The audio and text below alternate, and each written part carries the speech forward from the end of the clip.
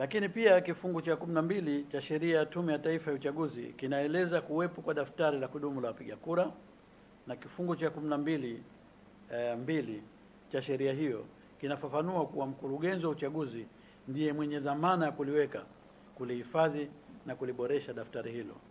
Iweje tunapotaka daftari hili tunaambiwa twende Tume ya Uchaguzi ya Zanzibar? Ndugu waandishi, tarehe pili mwezi wa kumi na mbili elfu mbili na ishirini na mbili tuliwasilisha malalamiko yetu kwa msimamizi wa uchaguzi wa jimbo la Amani kuhusu kituo cha skuli ya Faraja. Kuna kituo kimoja.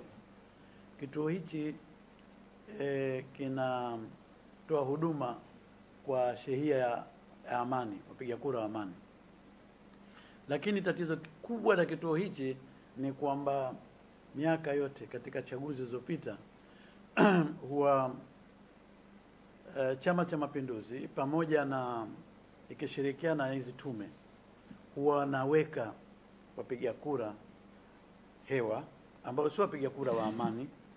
Wapiga kura hao wanapitishwa kinyemela kwenda kupigishwa kura katika vituo vya kupiga kura.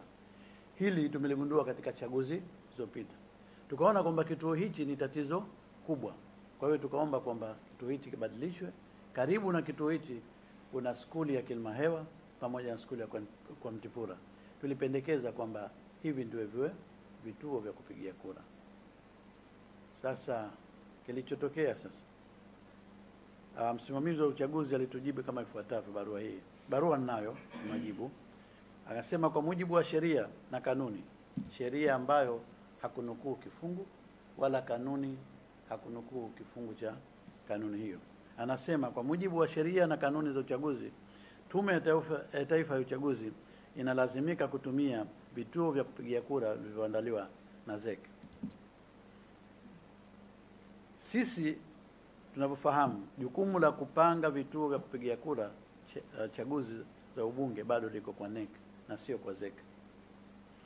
Kifungu namba tano na kifungu hamsini na sita cha sheria ya taifa ya uchaguzi vinathibitisha hii kwamba ni msimamizi wa uchaguzi wa NEC ndio anapasa kupanga vituo hivyo.